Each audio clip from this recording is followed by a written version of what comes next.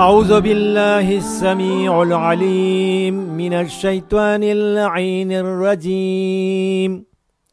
بسم الله الرحمن الرحيم. الحمد لله الملك الحق المبين. رب العالمين.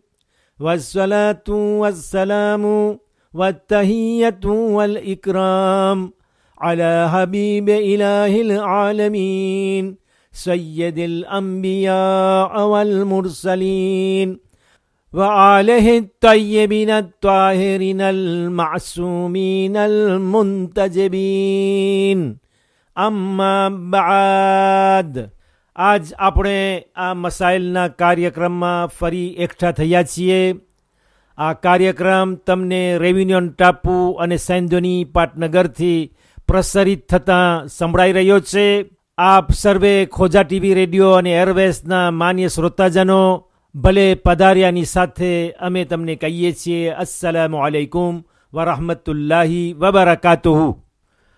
આયતુલ્લાહિલ ઓઝમા સૈયદ અલી અલ હુસૈની અસિસ્તાની સાહેબના ફતવા મુજબ જે ઇસ્લામી કાનૂનો છે, જે કિતાબને આપણે કહીએ છીએ તવઝીહુલ મસાયલ, ગુજરાતીમાં મારી સામે પડી છે એને ઉઠાવીને તેમાંથી નમાઝે જમાતના બારામાં એક મસાઇલ તમારી સામે પેશ કરું છું.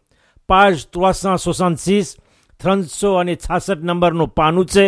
મસઅલો છે સૌપ્રથમ એક હજાર ચારસો ને આઠ મિલ કાત્સાવીત જે તમારી સામે હું વાંચવાની રજા લઉં છું અને એ પછી એના ઉપર જાય કંઈ ખુલાસો આપવાનું હશે તે આપતો જઈશ.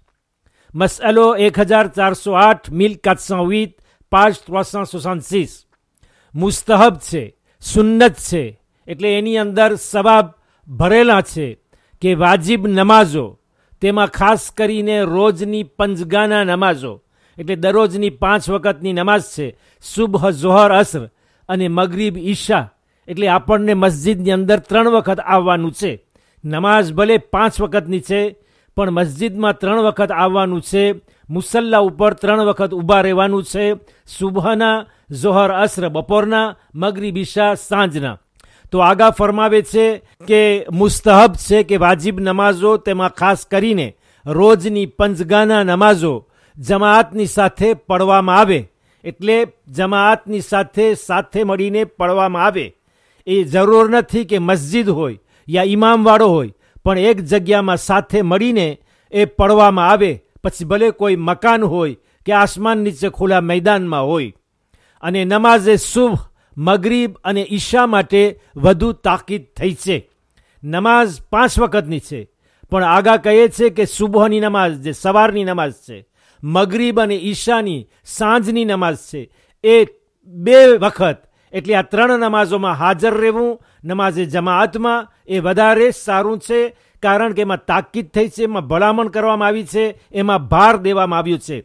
એનો અર્થ એ નથી કે જોહર અસરની નમાઝ એકલા પડી નાખે, ફુરાદા પડે જમાતની સાથે ન પડે અને જમાતને છોડી આપે. નહીં, એના ઉપર એટલી તાકીદ નથી થઈ જોહર અને અસરો ઉપર જેટલી શુભ મગરીબ અને ઈશા માટે થઈ છે. અને એ એવા ટાઈમ છે કે જેમાં માણસને મોહલત મળી શકે છે, ટાઈમ મળી શકે છે અને ફુરસદ મળી શકે છે કે તે સુબોની નમાઝ, સવારના વહેલા ઉઠીને મગરીબ અને ઈશાની નમાઝ કામ કરી લીધા બાદ તે નમાઝે જમાતમાં પહોંચી શકે છે. ઝોહર અસરની અંદર એટલી તાકીદ નથી જેવી રીતે હું કહી ગયો કે જેટલી આ ત્રણ નમાઝો માટે થઈ છે, પણ એની માયના એ નથી કે તેમાં નમાઝે જમાત ન થાય, નમાઝે જમાતમાં હાજર ન રહે, એને છોડી આપે. તેમાં ખાસ કરીને એવા લોકો માટે નમાઝે જમાતમાં હાજર રહેવું આગા ફરમાવે છે કે તેમાં ખાસ કરીને એવા લોકો માટે કે જે મસ્જિદના પાડોશમાં રહેતા હોય અને મસ્જિદની અઝાન સાંભળી શકતા હોય. એટલે જે લોકો મસ્જિદના પાડોશમાં હોય અથવા તો એવી જગ્યામાં હોય કે મસ્જિદનો મસ્જિદની અઝાનનો અવાજ તેના કાનમાં, તેમના કાનમાં આવે, તો તે લોકો માટે તો વધુ ભાર દેવામાં આવ્યો છે. એટલે કે નમાઝ એ જમાત ભલે સુન્નત છે, મુસ્તહબ છે, વાજિબ નથી. નમાઝ વાજિબ છે, પાંચ વખતની નમાઝ વાજિબ છે. પણ જમાતની સાથે, એક સાથે મળીને ના પડવામાં આવે, તો તેમાં વધારે તાકીદ થઈ છે ને એમાં વધારે સવાબ છે. જો કે ફુરાદા એકલા પડી શકે છે, પણ વધારે સવાબ ખપતો હોય અને એક્યતામાં સામેલ થવું હોય તો નમાઝે જમાતની અંદર હાજર રહે, ખાસ કરીને સવાર અને સાંજની નમાઝોમાં. તો હવે પાડોશીનો જે સવાલ આવ્યો, તો ઘણી જગ્યાએ એવી રીતે હોય છે કે મસ્જિદ જ્યાં વસ્તી હોય એ વચમાં ઊભી કરવામાં આવે એનું ચણતર કરવામાં આવે. અને ઘણા ગામની અંદર મસ્જિદ જ્યાં વસ્તી હોય એનાથી કેટલીય દૂર હોય. જેવી રીતે કે તમે સેન્ધોનીમાં આવો, તો તમને જોવા મળશે કે મસ્જિદ જ્યાં છે, એની ભીતની અડીને પાડોશમાં કોઈ ખોજા શિયા ઈશનાશ્રી અથવા આમ શિયા ઈશનાશ્રીનું મકાન તમને મળશે નહીં. બધા દૂર દૂર રહે છે.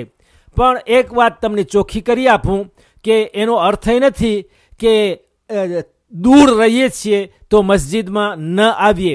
આજે શહેરો મોટા થઈ ગયા. ગામનો વિસ્તાર વધી ગયો. ગામ મોટા મોટા થઈ ગયા. એક ગામની અંદર દસ કિલોમીટરની લંબાઈ હોય તો એ ખબર પણ ન પડે. ઘણી વખત એક કિલોમીટર કરવા માટે, એક જ કિલોમીટર કરવા માટે અગર આંબુતયાજ હોય તો અડધી કલાક નીકળી જાય.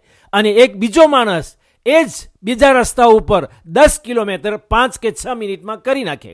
તો ટાઈમનો હિસાબ કરવાનો નથી કે મને ટાઈમ વધુ લાગે છે. એક કિલોમીટર નજદીક છે, પણ આંબુતયાજના લીધે આપણે મોડા પહોંચ્યા. અને એક માણસ દસ કિલોમીટર દૂર છે, આપણી સાથે જ ઘરથી નીકળ્યો, પણ એ વીસ પચીસ મિનિટ અગાઉ મસ્જિદમાં અથવા નમાઝ જમાત જ્યાં થતી હોય ત્યાં પહોંચી ગયો.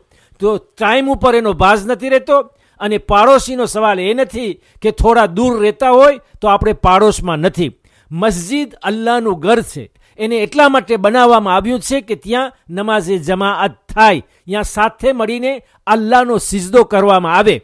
તો જ્યારે એક મકાન જે અલ્લાહનું ઘર હોય, જેની ઝિયારત ફક્ત કરવી, એમાં પણ સવાબ છે. એટલે તો કહેવામાં આવે છે કે મસ્જિદમાં આવો, તો પહેલાં તમે એને એહતરામમાં, એના માનમાં તમે બે રકાત નમાઝ પઢો સુન્નતની કે તમે મસ્જિદની અંદરમાં આવ્યા છો, અલ્લાહના ઘરના મહેમાન થયા છો, તો બે રકાત નમાઝ પઢો ફક્ત મસ્જિદની અંદર દાખલ થયા એટલા માટે.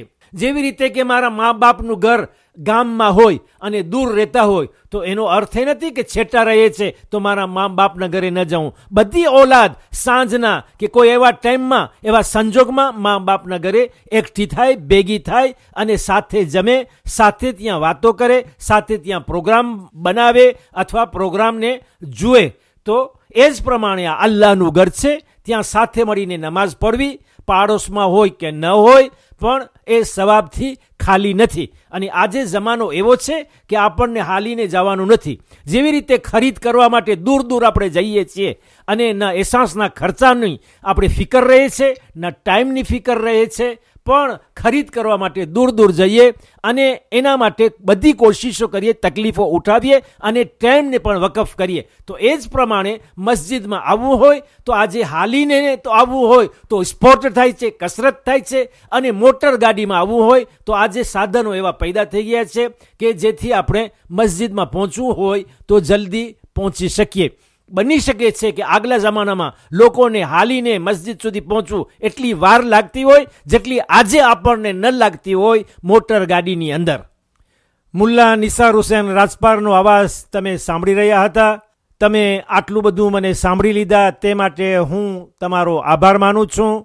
અને આવતા પ્રસંગે ફરી આપણે ભેગા થઈએ, ત્યાં સુધી તમને કહું છું, ખુદા હાફિઝ અને વાલેકુમ સલામ વરહમતુલ્લાહી વબરકાતુહ.